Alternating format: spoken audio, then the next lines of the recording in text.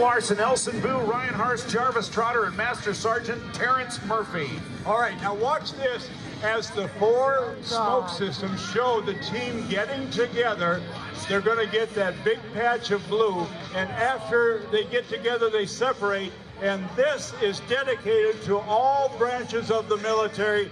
This is the Wings of Blue salute to our men and women in uniform. They're bombers in free fall, 120 miles an hour. Now they separate and make their way around the area.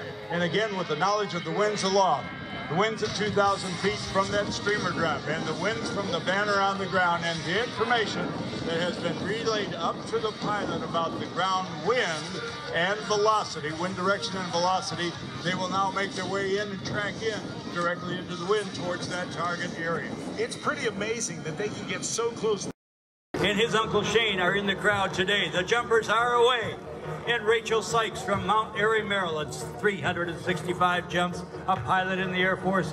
Her fighter pilot dad, they call him Psycho, and her mother, Renee, are in the audience today. Rob, take it away. We'll pick up with the other team members in just a moment. Very good, Danny Clisham. Look skyward, ladies and gentlemen. If you haven't seen them yet, they're trailing red smoke. Two of them got out and free fell, reaching speeds of 120 miles per hour and under canopy. One opened very high, and it's working. Hyundai, enjoy the show. Heidelberg Distributing Company is proud to be a sponsor of our air show. Heidelberg of Dayton is one of Ohio's largest wholesalers representing the finest suppliers of premium and imported beers, wine, and non-alcoholic beverages. They salute this target. Rob, we'd like to acknowledge the pilots who are flying the Twin Otter in both performances today. It is the de Havilland UV-18B Twin Otter, one of three used by the teams at the Air Force Academy, piloted by Lieutenant Colonel Mike Jacobson and Captain Nathan Boone. Now watch as they steer, putting on the brakes, using both of those steering lines. Watch the both arms come down, and a stand-up landing right on the target area. Now coming down, flying like they would at an airport with a downwind leg, then turning 90 degrees toward the target, and then final approach into the wind, where more wind coming in front of you gives better capability for slow speed handling.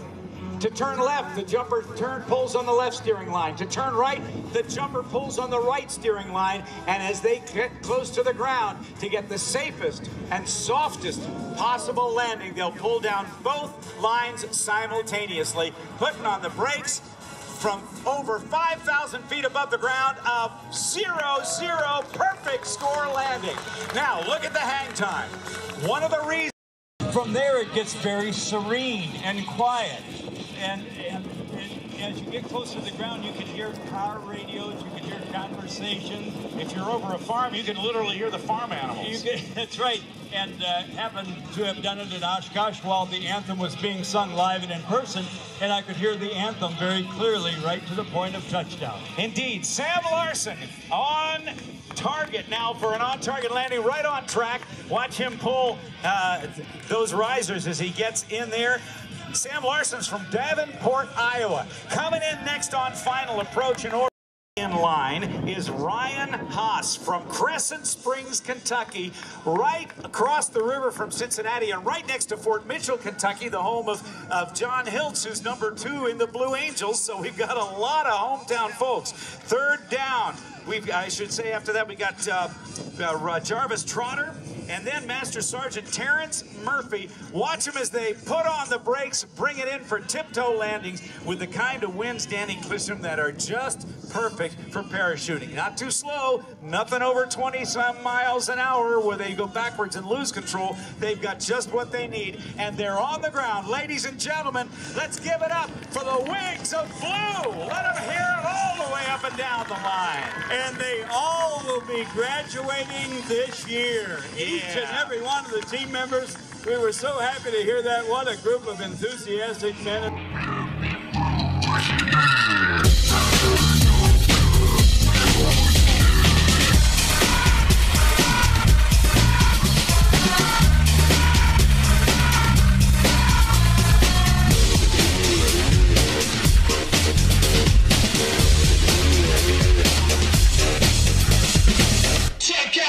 check